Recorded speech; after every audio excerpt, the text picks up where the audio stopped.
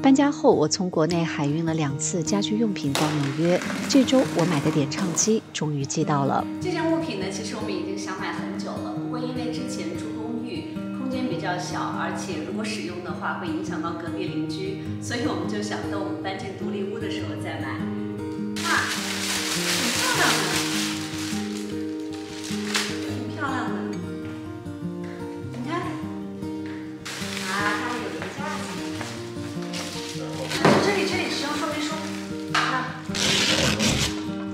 错不错不错不错。当晚点唱机就安装好了，但还需要全套音响设备和唱 K 的氛围。那正好我先生原来还买过一些这样的这个 LED 灯，呃，他当时买是打算给孩子们装饰房间用的。那我觉得装在地下室的话会更好一些。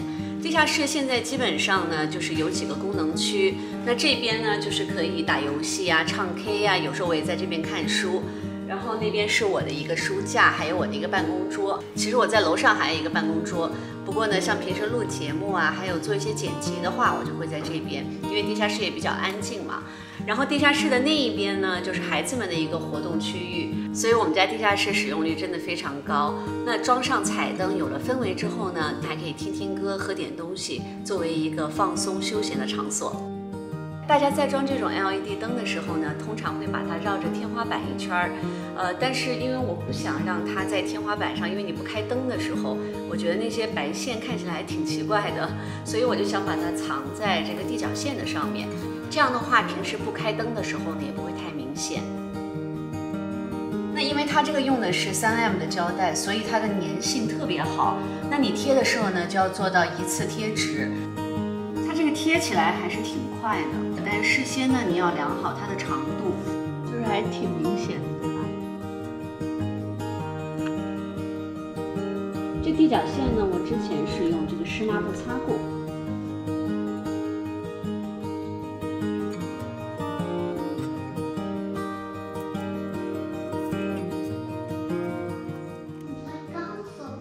我在装灯。装灯，上以后会很好看。你高不高兴啊？不高兴。你高兴啊？那叫我帮你呗。你帮我，你不会弄，你长大了再帮妈妈好不好？现在还小。对，扔到垃圾桶里。哇，好看吗？对。耶！那刚刚那一条 LED 灯呢，就全部装完了，效果还是挺好的，和我想象的差不多。那接下来呢，我就会把另一条也装上，一直到我的这个书柜。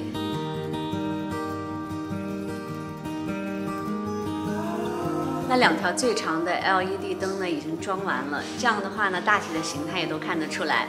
那整个这个书柜这么装上灯之后，我觉得还挺好看的。现在是关灯的效果哈，还有两根短一点的灯。那我打算把它装在这个墙体上，还有一个呢，我打算把它装在这个电视机柜的后面。你喜欢什么颜色？你要什么颜色？嗯，蓝色。红色。红色。我喜欢红色。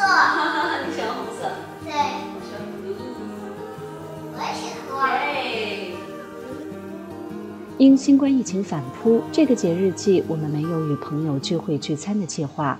不过，我们的家庭 KTV 已经初见雏形。